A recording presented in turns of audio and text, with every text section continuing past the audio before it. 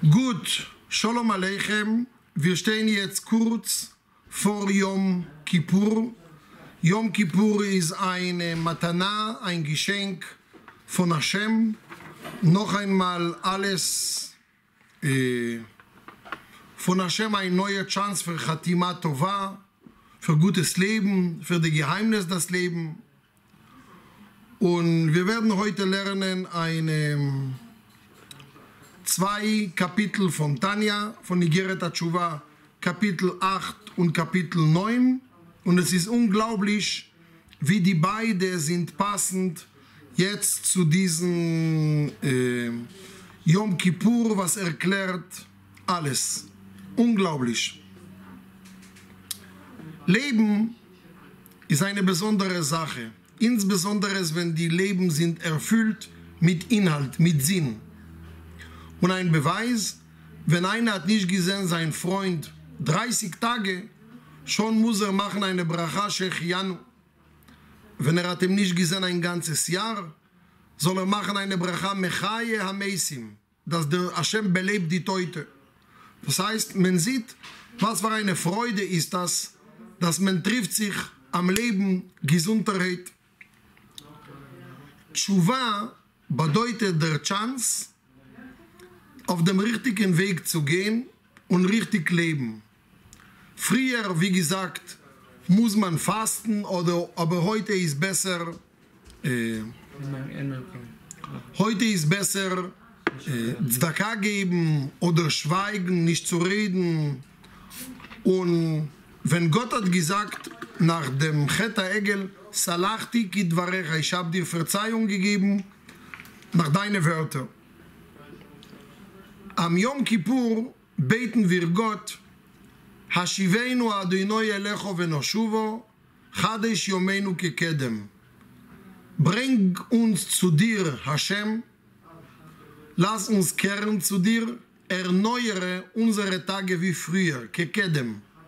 Kedem hat drei Wörter. Kuf, Daled und Mem. Drei Buchstaben. Kedem. Was ist Kedem? Kuf ist Kain, Kain und Habel.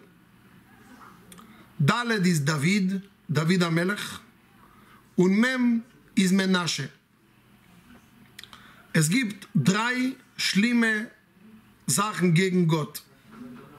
Götzedienerei, Inzucht oder verbotene Verkehr oder Mord. Und wenn wir sagen, dieser Pasuk, erwähnen wir drei Leute, die haben Tshuva gemacht. Kain hat gemacht Tshuva. Steht sogar geschrieben, dass Adam Arishon vor seinem Tod, als er hat gesehen, dass Kain hat gemacht Tshuva, er war neidisch, hat gesagt, schade, hätte ich das gewusst, hätte ich früher Tshuva gemacht. Also, Kain, Hashem spricht mit ihm, Hashem spricht mit Kain. Und genauso David Amelech. David Amelech hat auch, sagt in Kapitel 51, Chotossi, ich habe einen Fehler gemacht. Und Hashem macht, gibt ihm Tshuva. Er erneuert seine Ruach. Und genauso Menashe, der Schwiegersohn vom Prophet Jeschajahu, der, der war ein Götzediener und am Ende von seinem Leben hat er Tshuva gemacht. Daher sehen wir, es ist nicht da kein Verfallen. Es gibt nicht Verspätung. Es gibt immer eine Möglichkeit, sich auf dem Zug einzustiegen, solange man lebt. Steht geschrieben, kehre um zu Gott ein Tag vor dein Tod. Aber ein Mensch weiß nicht, wann ist sein Tod. Deshalb soll er jeden Tag so leben, als ob heute ist sein Tod. Heute soll er Hashem sagen, ich will zu dir, ich kehre zu dir, erneuere zu mir und gib mir den Chance. Okay. Und das wollen wir ein bisschen lernen. Sehr oft, der Mensch hat zwischen seinem Kopf und seine Gefühle Amalek. Amalek, Amalek bedeutet ein Seil zwischen Kopf und, und Handlung. Das heißt, er versteht eins und tut zwei Ich gebe ein Beispiel. Eine gibt eine Schiur. Wie schlimm ist das Zigaretten? Und er redet darüber eine ganze Stunde. Und danach ist er müde und in die Pause nimmt er eine Zigarette. Fragen die Schüler, hey, lieber Professor, Sie haben doch uns erzählt, wie schlimm ist das Zigaretten? Sagt er, ja, das ist im Kopf und das andere ist im Herz. Und das, was, das, das sind zwei Paar Schuhe. Das heißt, der Mensch hat sehr oft eine Gefrorenheit, ein Seil auf seinen Hals, wo es gibt keinen Kontakt. Das nennt man ein Esel, der Bücher trägt. Eine, der, der lernt, aber das, was er lernt, hat nichts zu tun mit seiner Iras Shomai, mit seiner Gottesfürchtigkeit. Ich gebe zwei Beispiele von einer Frau. Erste Beispiel von der Frau ist ihre Klamotten. Wenn eine Frau will sich anziehen, sie ist gebunden zum alles, was sie hat. Zu ihrer Jacke, zu ihrer Rock, zu ihre Schuhe, zu ihre Socken, zu den Strümpfe, zu die Perücke, zu den Nägeln. Aber nicht nur das. Auch alle anderen Sachen, was sie hat, müssen passen zu ihrem Wesen, ihre Tasche. Am Rosh Hashanah habe ich gesehen eine Frau, die kam mit einer passenden Corona-Maske zu ihrem Kleid. Also äh, sie hat gekauft eine extra rose äh, Corona-Maske für die Synagoge, damit soll passen zu der, Gar der ganzen Garderobe. Warum macht, das, warum macht das die Frau? Weil bei ihr, das, was sie fühlt, will sie so auch von oben bis unten gebunden sein. Sie, sie wird ihre äh, Lack auf die Finger überlegen und kalkulieren und, und so machen, das soll, soll, soll passen. Das ist ein Beispiel. Warum? Das nennt man Kesher Rikshi. Eine, eine, eine Gebundenheit zu dem Gefühl, zu das, was sie denkt, zu das, was sie äh, glaubt. Sie ist damit gebunden. Es ist nicht zwei Sachen. Sie sieht die Farbe, äh, diese Farbe, sie, sie sieht schwarz, denn alles muss passen zu dem Schwarz. Äh, die, die Kette, die Ohrringe, das ist eine ganze Torah, das ist nicht so einfach so.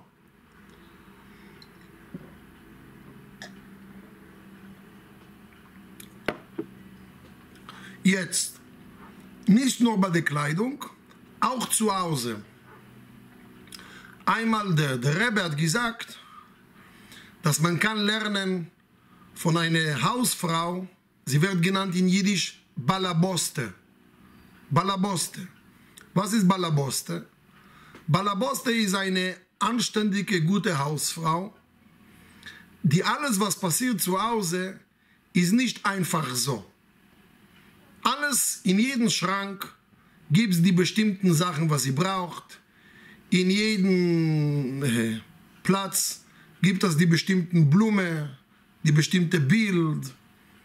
Und was passiert, wenn eine kommt und er sagt, ey, diese, diese Schmattes, die du hast unter dem Schrank in die Küche, braucht man nicht, ich schmeiße weg. Oder etwas von dem Badezimmer nimmt man raus. Eine Balaboste wird gleich erkennen, jemand hat sie reingemischt in, in, in ihre Sachen, weil sie hat nicht gelegt die Schmatte in die, in die Küche einfach so. Es hat einen Sinn. Mit dieser Schmatte kann man das abwischen und diese, diese Materie gibt es dort und dort. Was heißt das?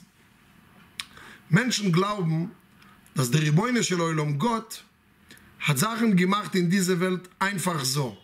Geschafft eine Welt und Shabbat Shalom mit einem Balagan. Sagt der Rebbe nein. Wenn eine Balaboste von 100 Quadratmeter, alles was passiert zu Hause, hat ein Kopf und Sinn und Gebundenheit und Verbundenheit und Sinn, umso mehr Ashgacha umso mehr Gottes Überwachung ist auf diesen großen Welt, dass er hat entschieden, diese Berge zu machen dort und diese Wald zu machen dort. Und er hat nicht einfach die Sachen gemacht, stam, azoi, ohne Grund. Alles hat, wenn eine Balaboste legt alles auf den Platz, auch Gott legt alles auf den Platz. Gut. Yom Kippur ist ein Tag, wo Av Horachamim, der Vater von der Barmherzigkeit, ist da. Ich gebe ein Beispiel. Einer von den allerschwierigsten Berufen in dieser Welt, die wird wenig geschätzt, leider, ist ein Lehrer oder Lehrerin. Wird wenig geschätzt, sehr wenig geschätzt. Und es ist keine Wunder, warum die Erziehung von den Kindern ist so schwach, weil die Gesellschaft sieht nicht als beim Lehrer und Lehrerin das Allerwichtigste für die Kinder. Und die müssen die, die allerbeste sein. Auf jeden Fall gibt es ein sehr schönes Beispiel von dem Rebbe. Es gibt einen Lehrer und in seiner Klasse hat er Probleme von Disziplin. Eine von den größten Problemen heute, was Lehrer und Lehrerinnen haben in die Klasse, ist Disziplin. Schreien darf man nicht, schimpfen darf man nicht, schlagen darf man nicht, beleidigen darf man nicht, nur die Schüler können alles machen, der Lehrer darf gar nichts machen. Er kommt in die Klasse mit einer festle Hände, festlen Mund, er kann gar nicht machen. Es gibt ein Beispiel von einem Lehrer, der hat in seiner Klasse große, große Probleme von Chutzpeniakes, von frischen Kindern. Die haben ihm wirklich getanzt auf dem Kopf, Kasachok. Also wirklich, die haben ihm Meschuge gemacht. Er ist gegangen zu dem Direktor und er sagt dem Direktor, ich brauche deine Hilfe. Meine Klasse sind sehr wild und ob du sie beruhigen kannst. Und der Direktor ist eine Persönlichkeit, ein Erfahrener, so wie der Prophet Amos, der konnte alle Wilden zähmen. Und der äh, Direktor kommt in die Klasse und er redet und, und, die, und klare Wörter und alle sind beruhigt. Aber diese, diese, diese Gefühl von dem Direktor hat gedauert zwei Wochen. Nach zwei Wochen noch einmal Balagan und er holt noch einmal dem Direktor. Und so, nach ein paar Monaten, sagt der Lehrer zum Direktor, wissen Sie, Sie haben nicht Angst von mir, Sie haben Angst von dir. Sagt der Direktor, was willst du? Sagt, ich möchte, du sollst mir geben eine Backup, eine Rücken. Du sollst mir geben von deiner Stärke. Und wenn du mir gibst von deiner Stärke, werde ich schaffen, in die Klasse von deiner Stärke, von deiner Kojach an die Kinder hinzukommen. Das heißt, wenn einer schafft nicht Disziplin beim anderen zu bringen, das heißt, er ist selbst schwach bewusst und die, die Schüler spüren es. Und in dem Moment, wenn sie spüren, dass er hat keine Rücken, sie werden weiterschlagen. Wenn einer hat eine starke Rücken, man geht mit ihm anders. So, so ist das in dieser Welt. Deshalb sagt der alte Rebbe dieses tolle Beispiel. Darf ich was sagen? Natürlich. Also, ich habe das genau erlebt, äh, als ich Religionsunterricht äh, gegeben habe. Und was dann leider nicht war, der Religionsunterrichter, der Lehrer, der Religionslehrer so wie ich, hatte nie einen Rückhalt, weil das war eine normale äh, Schule. Was hat der Schuldirektor da mit Religion zu tun? Weil er selber nicht religiös war. Also stand ich auf dem oh, Feld mit nichts, mit gar nichts, nur mit Gott. Tja, ist nicht einfach gewesen. Nein, aber es ist nicht nur in Religion, es ist in allen Bereichen, ist, und das ist auch nur ein Beispiel für, für unsere Kraft und Bitte von Hashem. Wir beten nicht nur Hashem, soll er der Stärkste hier sein. Er ist stark sowieso. Er ist Gott, er macht sowieso, was er will. Wir möchten, Veruach noch ein Chadesh Bekirbi, eine, eine starken Mut und Kraft, schenk ihr in mir, dass ich schaffe, diese Sache zu tun. Okay. Jetzt. Äh, Hashem hat uns gegeben Neshama Tehora, eine reine Seele.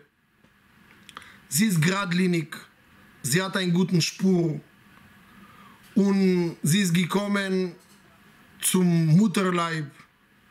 Die Neshama ist rein und sauber und klar wie ein Diamant. Sie ist bescheiden. Sie sucht das Gutes, sie sucht die Wahrheit, sie ist bescheiden und sie fühlt sich Sehnsucht. Kommt Yom Kippur und was macht man am Yom Kippur? Alle weltlichen Sachen sind weg. Was der Körper will immer. Was will der Körper? Essen und Trinken verboten. Waschen, genießen, Wellness, Salben verboten. Eheverkehr, Frauen, Männer verboten. Rauchen verboten. So wie Shabbat. Das heißt, in dem Moment, wo ein Mensch beseitigt alle geschriene und dominante Sachen von Körper und macht mehr dominant und stark die Neshome, braucht er nicht viel. Die Neshome ist sehr wachsam, sehr aufmerksam. Sie hört ganz zu, was man mit ihr, ihm spricht. Und sie hat äh, eine Erinnerung an Gan Eden, an Paradies. Und durch die Torah, durch die Gebete, durch Hashem, kommt man zu diesem Gan Eden. Es gibt einen Spruch, und dieser Spruch ist ein Bluff, ist eine Lüge. Jeder mit seiner Wahrheit. Gibt's nicht. Es gibt nicht jeder mit seiner Wahrheit. Wenn jeder hat seine Wahrheit, dann gibt es keine Wahrheit. Es gibt nur eine Wahrheit. Moishe Emes, Vetoiroso Emes, und so wie man sagt beim Ende von Shema Israel, Hashem Eloikeichem Emes. Hashem, euer Gott, ist wahr. Was ist wahr? Wahr bedeutet, dass ein Mensch weiß, dass in dieser Welt kann man nicht tanzen auf beide Seiten. So wie Eliyahu Navi sagt die Leute von dem Baal.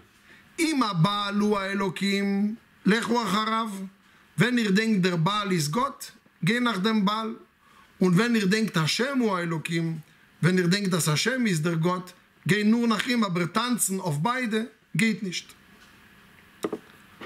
Und deshalb wollen wir heute lernen, vor Yom Kippur als Vorbereiten, Kapitel äh, 8 und Kapitel 9 in Tanja, die wirklich passt wie eine Handschuhe zu unserer Zeit.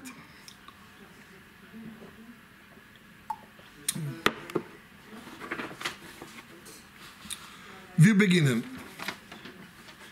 Wir werden lernen über drei Sachen. Über die Mutter und die Küken. Was bedeutet Gott zu dienen mit die ganze Neshome? Und wie kann man korrigieren vergoldene Energie von Tikkun Yesod? Also wenn einer hat verbotene äh, Eheverkehr gemacht oder Sachen, wo seine Samen ist umsonst vergoldet, ohne die Energie richtig zu, zu, zu bringen. Also der alte Rebbe will hier geben, wie gesagt, Chance zu alle schlimme Sachen in der Welt, dass der Mensch hat immer Chance, sich alles zu verbessern. Und das wollen wir lernen. Der alte Rebbe beginnt, wenn einer macht Fehler, er wird gebunden zu dem Fehler wie eine Seil zum Hund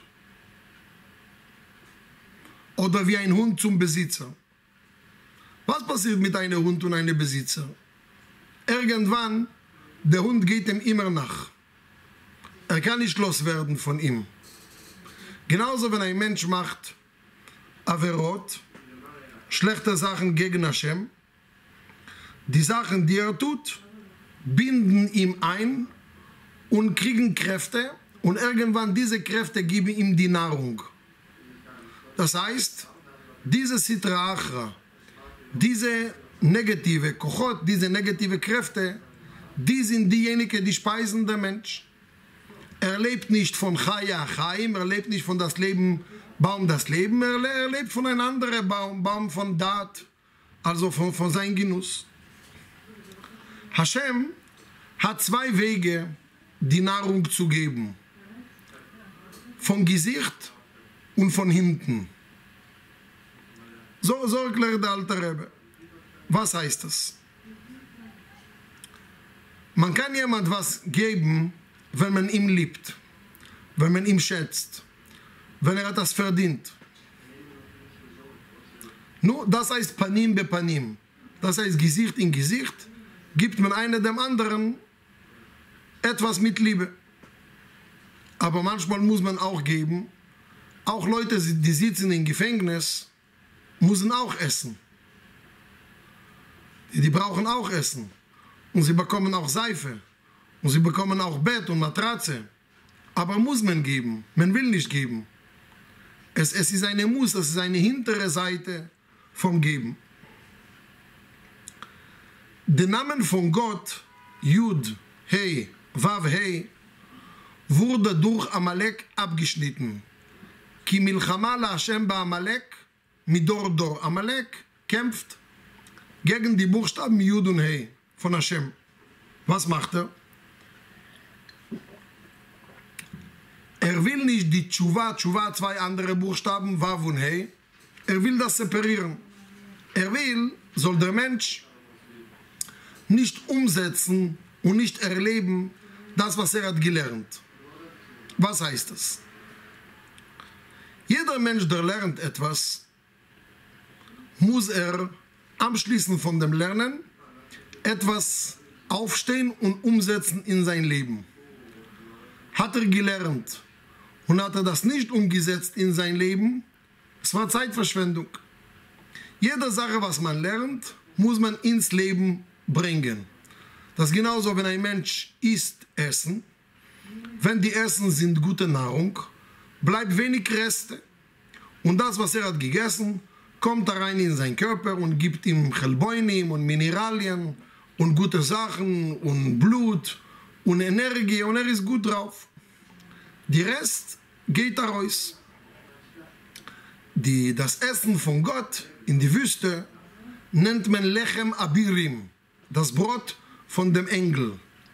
Sie haben das gegessen und sie mussten nicht gehen, Reste Arois zu bringen. Warum? Weil alles, was sie haben gegessen, ist reingekommen zu sich komplett. Okay. Jetzt, was ist der Unterschied zwischen die Sachen zu lernen und die Sachen zu verstehen? Der alte Rebbe gibt ein super Beispiel. Ein Kind hat lieb seine Eltern. Warum hat er lieb seine Eltern? Weil sie geben ihm Essen, Trinken, Haribo, Schoko, Chips, Pasta, Pyjama und ein Kuss. Und sie sagen ihm Schatzilein, Mutzilein, Putzilein. Freut sich. Ich liebe Mama, ich liebe Papa, sehr gut. Aber er benimmt, er benimmt noch nicht zu seinen Eltern wie einer, der liebt. Er liebt, weil er bekommt. Er liebt, weil es, ihm, es lohnt sich. Er versteht noch nicht, was ist Liebe. Irgendwann, wenn er heiratet und er hat selbst Kinder, er selbst, wenn er hat selbst Kinder und Hashem hat ihm gegeben Seichel, erst dann beginnt er seine Eltern zu lieben, mit dem Kopf. Das heißt, solange der hat nicht selbst Kinder und er beginnt nicht seine Kinder, wie soll er verstehen, was bedeutet Mama und Papa? Wie soll er verstehen, was bedeutet Liebe? Mit was? Wie? Wie, wie, wie soll er verstehen? Sagt der alte Rebbe, es kann dauern 40 Jahre, 40 Jahre, bis dem Kind beginnt wirklich seine Eltern zu lieben.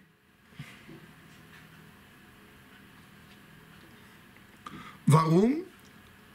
Weil die Mütter muss wachsen lassen die Küken.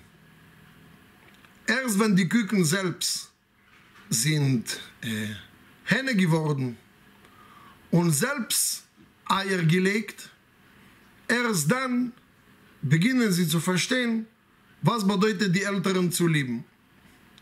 Genauso wenn ein Mensch äh, macht Mitzvot. Mitzvot macht man Gebote mit Gefühle. Aber ist man mit der Sache noch nicht verbunden, weil man versteht noch nicht.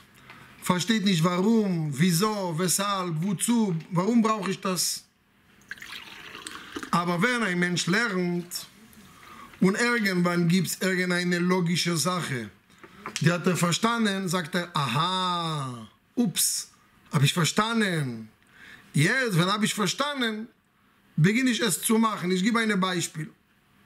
Ich habe einen Freund, er hat mir gesagt, jahrelang, es war ihm unwichtig, milchig und fleischig zu essen zusammen. Er hat nicht verstanden die Logik, den Bedarf, den Verbot. Einmal hat er gehört bei einer Schiur, dass milchig bedeutet Leben, weil man nimmt das noch am Leben. Und fleischig bedeutet leider Tod, weil muss man dem Tier töten. Und Gott will, soll man aufmerksam sein mit Tiere, mit Leben und Tod, mit fleischig und milchig. Soll man nicht denken, dass Tiere sind ohne. Also soll man nicht denken, dass jeder soll machen, dass man lebt in einem Dschungel, dass jeder soll machen, was er will. Und Menschen sollen die Sache ohne aufmerksam leben. Es gibt einen sarkastischen Witz, dass eine sitzt im Café und trinkt äh, Kaffee mit Sahne. Schreit ihm an irgendeine Tierschutz, vegane Radikal. Diese Milch, die du trinkst, konnte trinken ein Kalb. Sagt der Mann, der Kalb konnte es nicht trinken, ich habe es gegessen. Also er konnte nicht trinken. Jetzt, das ist extrem zu die Bullerei und die Frechheit gegen Essen, was man will. Und das ist genau schlimm, auch radikal nicht essen, was man will. Kommt die Tora und sie sagt, ey, ey, ihr seid beide nicht in Ordnung. Der Radikal, alles ist schlimm, der Radikal, alles nicht, ist auch schlimm. Es gibt von Hashem, er schuf seine Welt und er hat uns gesagt, was ja und was nicht. Er hat gesagt, Shabbat, Feiertage, Fleisch, ja, Freude, nicht jeden Tag. Shabbatot, Chagim, sehr gut. Hast du gegessen Fleisch? Sehr. Keine milchige Sachen? hast du schon getötet. Jetzt sei ruhig, du kannst nicht jetzt leben, du kannst nicht jetzt nach dem Fleisch äh, trinken Kaffee mit Sahne. Du kannst trinken Milch, Soja, kein Problem, aber nicht von Sahne. Du kannst nicht nehmen der Milch von dem Tier und beides vermischen und sagen, ich habe keine Grenze. Du musst immer leben, bewusst mit Grenze. Das heißt, in dem Moment, wo ein Mensch versteht, kapiert, dass Milch ist die Wille zu geben, Altruismus, schenken und Fleisch ist die Wille zu verlangen, Tod, Rot. Er beginnt Sachen in die Welt zu verstehen, dass die Welt ist nicht ein Dschungel, dass die Welt hat ein, wie sagst du, ein Eberster, ein Oberster, der, der guckt auf die Welt und er sagt, was geht und was geht nicht. Okay. Jetzt. Wir müssen diese Gott dienen sehr stark noch ein, noch ein Tipp. Also jetzt wäre es natürlich gut, wenn wir von Essen reden, dass du ein Rezept von deiner Großmutter oder von deiner Mutter geben würdest, wie du das öfters machst und isst. Ja. Freut mich. Gut, also soll man Hashem dienen bechol nafshecho, mit die ganze Seele. In dieser Welt, sagt der alte Rebbe, gibt es sehr viele Arten von Liebe. Hand, Auge, Umarmung und Kuss. Hand ist ein Weg zu sagen, eine Begegnung. Shalom Aleichem, man gibt sich die Hand. Schon beim Hand kann man spüren Wärme, Menschlichkeit, Edelkeit, Persönlichkeit, schon bei dem, bei dem Quetschen von der Hand. Aber später kommen die Augen. Die Augen, wenn einer sieht dem anderen, dann, dann in den Augen, die sind die Fenster von der Neschome, kann man erkennen. Später kommt die Umarmung und Kuss ist am meisten. Sagt der alte Rebbe, wenn man will Hashem dienen, soll man dienen mit alles. Mit dem Verstand, mit dem Herz, mit dem Arbeit, mit dem Geld, mit den Freunden, mit den Büchern. Überall und immer Hashem dienen. Was heißt das? Mit dem Verstand zu vertiefen in die Torah. Mit dem, mit dem Herz Charakter zu Gott. Mit unserer Logik Erinnerung die Torah. Mit dem Mund reden Torah. Mit den Augen zu gucken nur koschere Sachen. Mit dem Mund reden nur passende Wörter. Mit dem Ohren hören. Es gibt manchmal, ich will nicht hören. Erzähl mir nicht darüber. Interessiert mich nicht. Ist nicht meine Sache, ist nicht mein Ding. Interessiert mich nicht. Und natürlich zu machen auch Tzedakah Chesed. Jetzt kommt der alte Rebbe und er sagt, wir haben gesagt, wir wollen drei Sachen wissen. Eins, die Mutter und die Küken. Und das heißt, in dem Moment, wo die Kinder sind selbst Eltern, dann verstehen sie, was ist die Liebe zu den Eltern. Das heißt, die Liebe kommt von dem Kopf und nicht von den Gefühlen. Was ist Bechol Nafshecho? Was ist mit deiner ganzen Seele? Mit dem guten Trieb und mit dem schlechten Trieb, dass man liebt Hashem überall bei allen Seiten. Wenn der Mittler Rebbe wollte heiraten, er wollte hören Chassidismus von seinem Papa.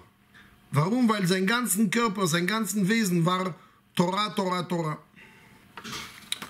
Sagt der alte Rebbe, in dem Moment, wo ein Mensch lernt Torah, was passiert?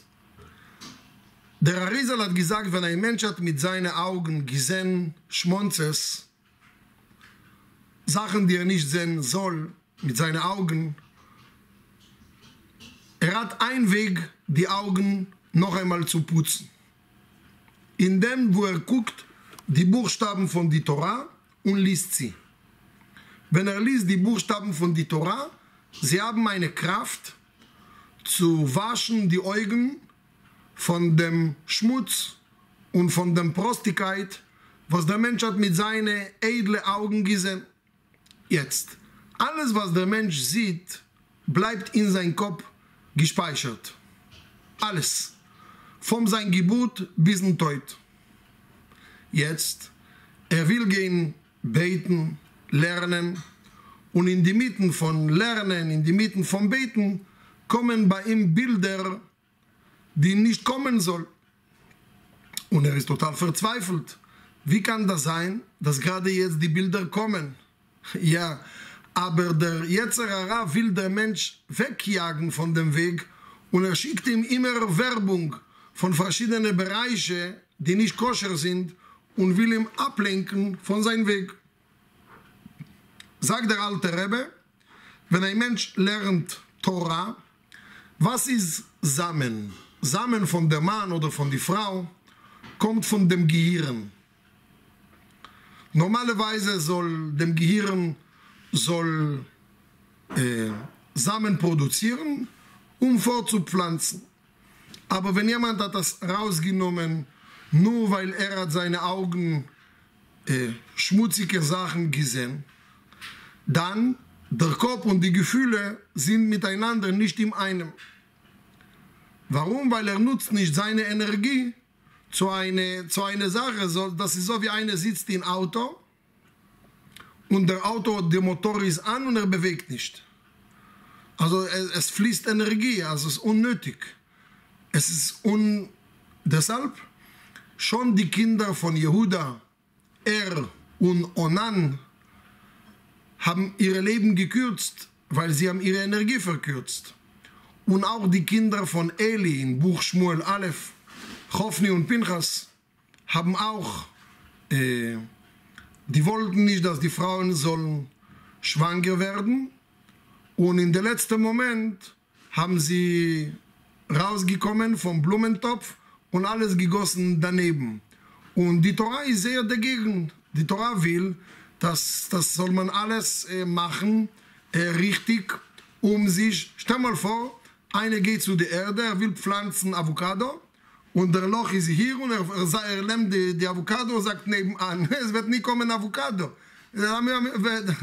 Du hast den richtigen Ort zu legen, leg in dem richtigen Ort. Gott hat das gemacht, soll pflanzen Avocado.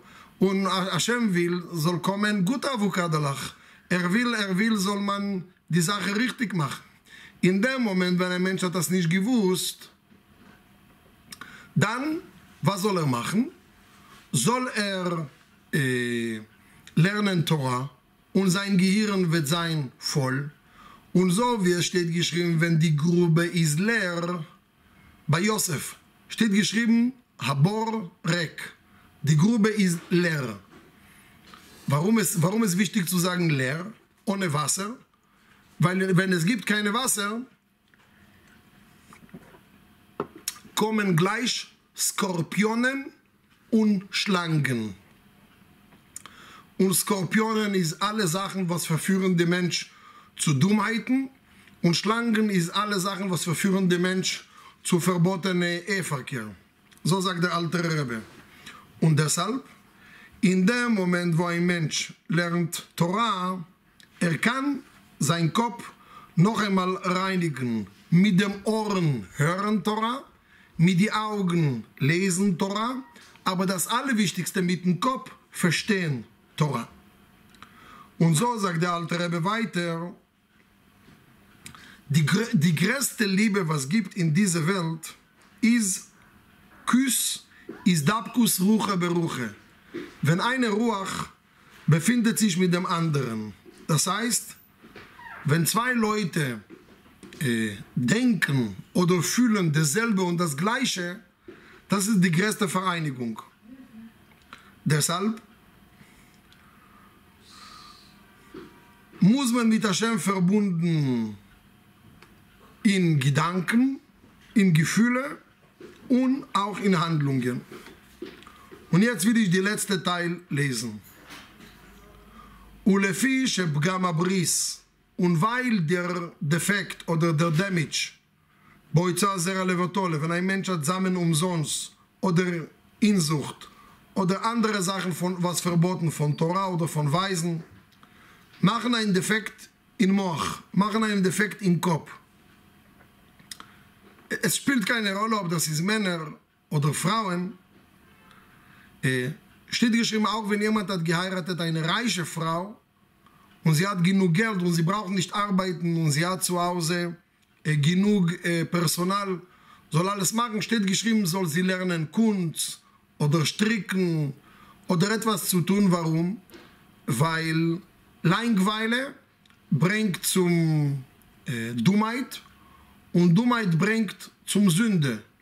Und stell mal vor, eine Frau ist alleine zu Hause und es gibt zu Hause ein, ein Josef, oder ein Gärtner oder ein schöner Hausmeister und ihr Mann ist ganz weg, weit weg und fällt sie Liebe, fällt sie Aufmerksamkeit, fällt sie Anregung, Schmetterling, Liebe, dann durch die Langweile wird kommen Dummheiten. Durch die Dummheiten wird kommen Ruachstuss. Ruachstuss ist eine schlimme Sache. Ich weiß nicht überhaupt, wie man übersetzt auf Deutsch Ruachstuss. Ruachstuss ist ein Wind von, von Dummheit, von einem riesigen Fehler, wo ein Mensch hat wirklich gemacht. Stuss ist das allerletzte, die man nicht machen soll. Stuss ist eine unsinnige Sache. Wie kommt ein Mensch zu einem Ruachstuss? Von Langweile, von unerfülltes Leben. Also wenn die Leben sind erfüllt, kommt kein Ruachstuss. Und das steht geschrieben in Tana de Beliau, wenn ein Mensch hat gemacht so eine schlimme Sache. Was soll er machen? Wenn er hat gelesen in die Woche eine Seite Torah, soll er lesen zwei. Er hat gelesen ein Kapitel, soll er lesen zwei Kapitel. Das ist so wie eine Knotte, wenn sie ist zerrissen, muss man in eine andere Seite zwei Knoten machen, also doppelt. Also unser Kontakt zu Hashem ist wie, ist wie Chevel, ist wie Seile. Und deshalb steht geschrieben, dass am Yom Kippur alle Sachen, was, was der Mensch hat äh, äh, gemacht am letzten Jahr, bekommt er eine Matana und er muss auch machen Wohltätigkeit. Ich möchte mit einem letzten äh, Gedanke beenden und mit einer kurzen Geschichte von Baal. Es gibt ein Sprichwort in der Welt, ich weiß nicht, wer sagt das, aber das Sprichwort sagt, ich denke, bedeutet, ich existiere. אתה חושב משמע אתה קיים. Der Baal Shem Tov sagt noch tiefer. Er sagt, dort wo der Mensch denkt, dort befindet er. Was heißt das? Wenn ein Mensch hat in diesem Leben Schlichut, Mission, und das ist sein ganzes Lebensziel, er muss alles machen in sein Leben verbunden. So wie Josef hat geträumt, dass wir machen Bunde von Getreide und ich, ihr macht Bunde auf die Kleine und alle eure Bundelach kommen zu mir. Weißt du, in die, in die, in die Getreide. Ein Mensch macht am Tag enorm viele Einzelheiten von Sachen, aber sie haben eine mit dem anderen nichts zu tun, weil der Mensch hat keinen Sinn. Hier ist Arbeit, hier ist Familie, hier ist Freunde, hier ist Synagoge, hier ist Beten. Nein. Die Idee ist, alles, was ich tue, ist gebunden mit Hashem. Alles. Ich trinke für Hashem, ich esse für Hashem, Fortpflanzung für Hashem, Genuss für Hashem, alles für Hashem.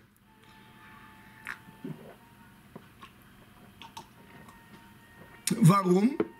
Weil Hashem will, soll ich in dieser Welt gut leben. Und in dem Moment, wo ich bin gut gelaunt und gute Freude, habe ich Mut und Kraft und Dankbarkeit, ihm zu dienen mit Freude.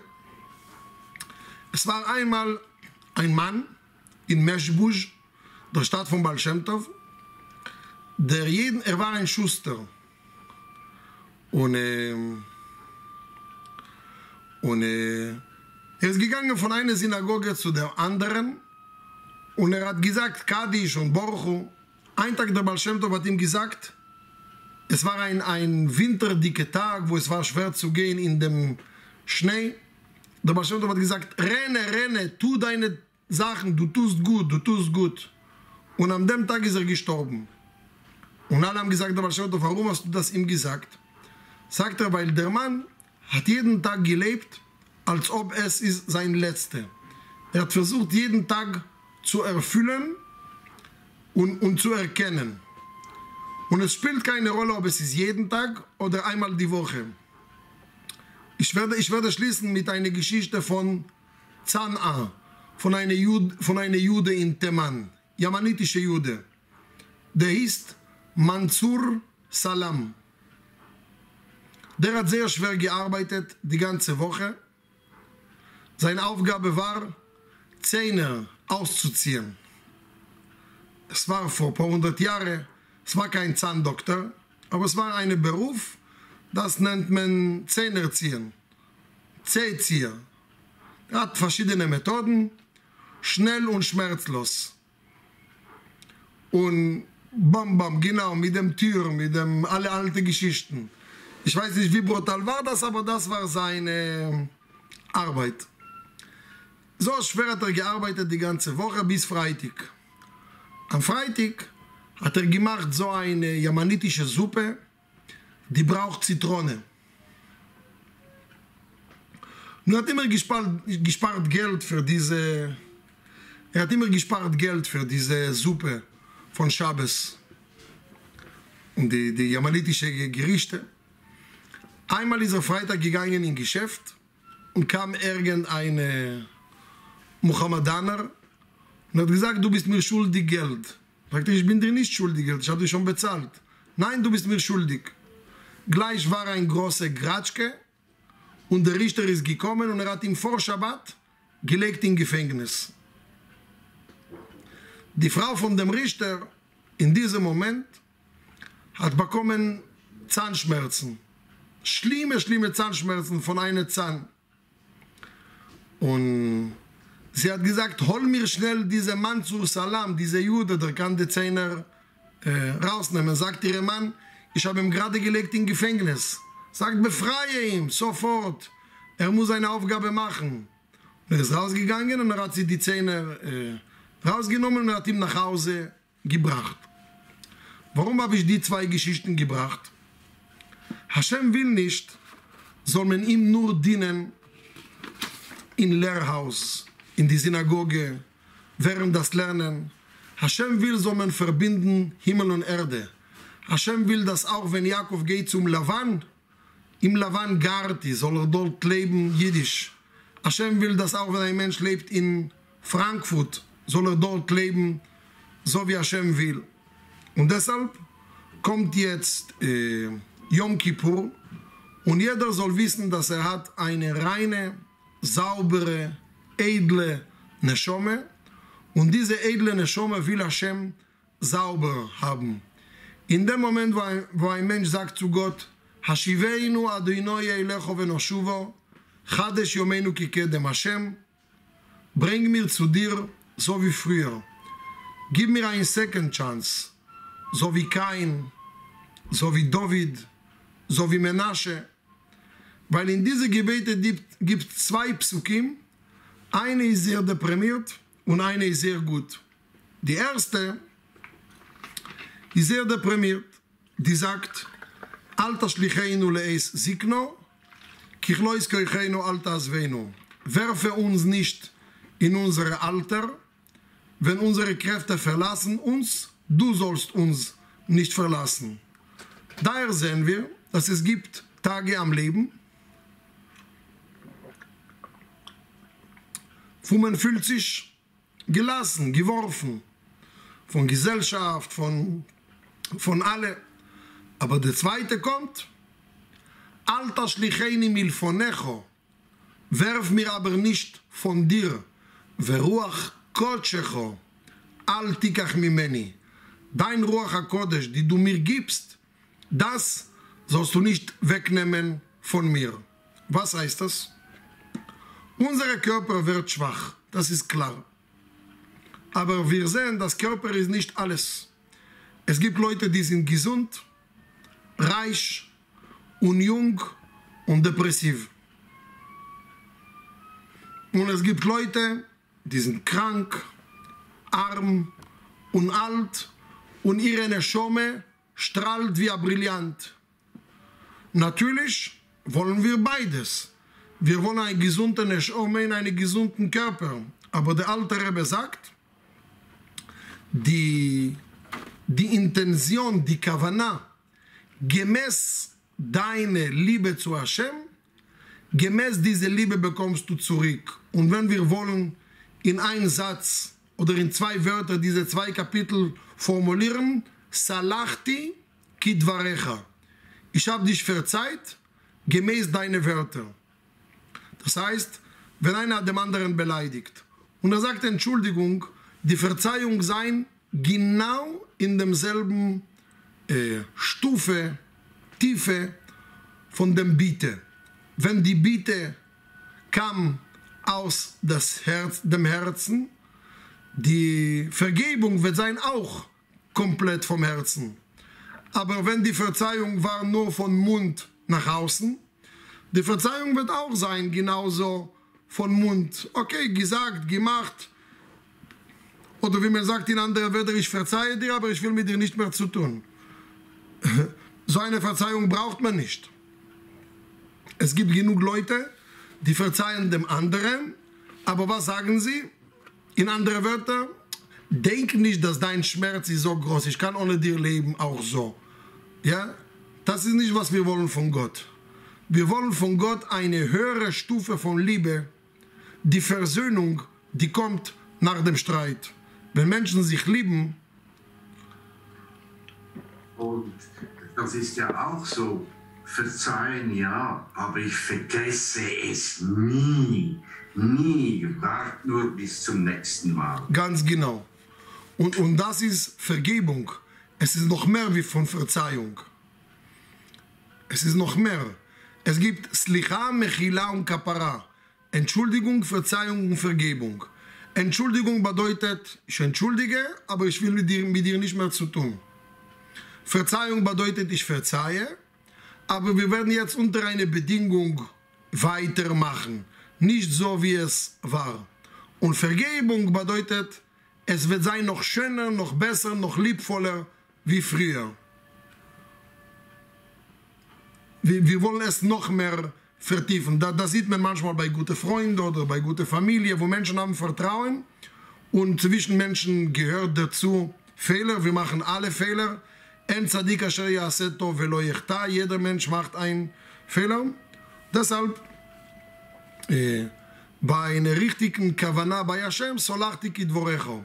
Und ich will nur sagen, dass diese zwei große Fehler von Chet Egel und Chet von David Amelech steht geschrieben in sehr viele Sifre Kodesh, dass es war nur ein Modell zu zeigen, egal wie schlimm, egal wie tief, egal wie schmutzig, kann man das runterbringen. Steht beim Zecharia, Prophet Zecharia, er trifft Joshua, Kohen Agadol, und er sagt, Asiru abgadim azoim me'alav, nimm runter die schmutzige äh, Kleider von ihm.